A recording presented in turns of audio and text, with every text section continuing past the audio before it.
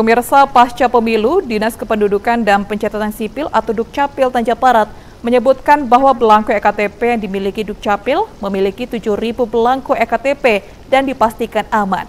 Hal ini dibenarkan langsung oleh Administrator Datapes Kependudukan Ahli Muda Kiki Karlina. Belangko EKTP merupakan belangko utama untuk mencetak EKTP masyarakat Tanjung Barat. Sehingga jika tidak ada belangko EKTP tersedia, maka EKTP tidak dapat dicetak dan dimiliki masyarakat Tanjung Jabung Barat. Meski demikian, pihak Dukcapil memastikan belangko EKTP selalu tersedia. Bahkan saat ini terdapat stok belangko EKTP capai 7.000.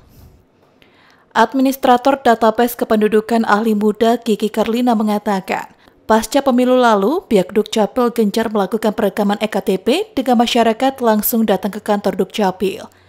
Namun sejauh ini, pelayanan perekaman maupun pencetakan EKTP berjalan sesuai aturan dan terlaksana dengan baik terutama dalam pelayanan pembuatan EKTP baru bagi masyarakat yang baru memiliki KTP. Meski demikian, hingga saat ini Dukcapil menyatakan bahwa ketersediaan pelaku EKTP dipastikan aman, namun jika terjadi kekurangan, nantinya pihak Dukcapil tetap meminta ke pihak Provinsi Jambi. Insya Allah masih aman, masih ada sekitar 7.000 7.000 belangko KTP yang belum yang belum digunakan. Hmm.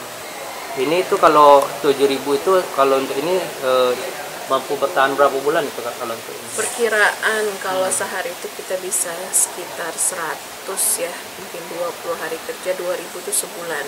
Hmm. Sebulan itu kalau normal ya Pak, kalau mungkin kalau kayak kemarin KTP bisa hampir 3000 4000 dalam sebulan, hmm. tapi kalau normal ini 2000 perkiraan bisa sekitar tiga bulanan lagi hmm. Bisa tahan. Ini berarti ada juga yang rusak juga berganti atau kayak mana? Kalau untuk cetaknya, cetak. ya jadi kalau cetak KTP memang tidak ada dibatasi, hmm. jadi untuk perubahan penggantian KTP yang hilang atau hmm. rusak atau perubahan data kependudukannya itu kita ganti diganti KTP-nya bisa jika pun memang tidak mencukupi tetap standby selalu diambil lah kayak di mana tuh ya, biasanya kan belangko kita bisa ambil di provinsi dan bisa juga langsung ambil ke Kementerian Dalam Negeri di Dirjen Dukcapil. Pada intinya eh, selama ini jarang ada kekurangan? Enggak. Insya Allah kita tidak ada kekurangan belangko jadi kalau misalnya stok belangko sudah mulai menipis kita ajukan pengajuan permintaan belangko kembali. Surya Kurniawan, Cek TV, melaporkan.